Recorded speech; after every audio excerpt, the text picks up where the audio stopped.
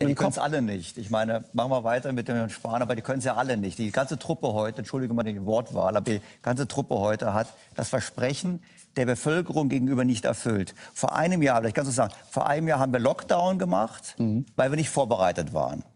Dann haben wir gesagt, wir machen Lockdown, wir nehmen Schaden in Kauf, wir, wir verdienen viel Geld, das ist ja unser Geld. Ja wir nehmen Geld. Schaden in Kauf, wir versuchen aber auch und, und wir nehmen Menschenleben uns, es ist ja retten, unser ne? Geld, ihr dürft unser Geld Seite. verwenden und hm. denen, die getroffen sind, helfen. Und habt ihr den ganzen Sommer Zeit, euren Teil des Deals zu erfüllen.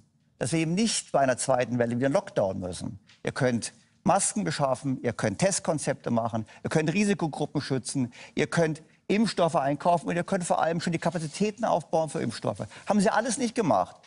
Die, alle, die heute zusammensitzen, ist nicht der Spahn alleine, der Spahn ist, die haben alle gemeinsam die Verpflichtung, die sie uns gegenüber eigentlich eingegangen sind, als Gegenleistung für unser sauberes Verhalten im Lockdown, nicht erfüllt.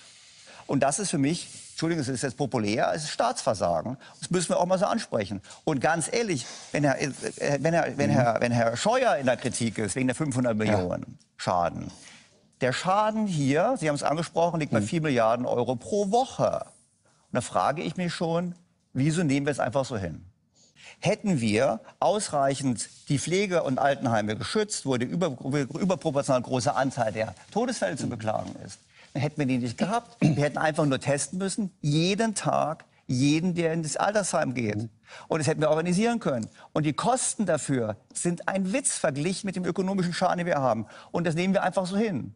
Das, das, das, schauen Sie nach Korea, schauen Sie nach Taiwan, da funktioniert das. Und wir nehmen es einfach so hin. Und da muss ich ganz ehrlich sagen, ich bin enttäuscht. Ich frage mich ein bisschen, warum die Bürger das so hinnehmen.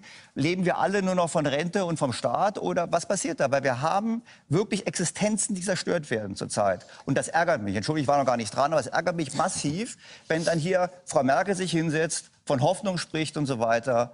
Ähm, und wir alle gleich noch Mitleid mit ihr haben, weil sie ja so harten Kampf hat mit Herrn Spahn. Sie haben alle gemeinsam ihre Aufgabe nicht erfüllt. Und für die viel größte Wirtschaftsnation der Welt ist es eine Blamage.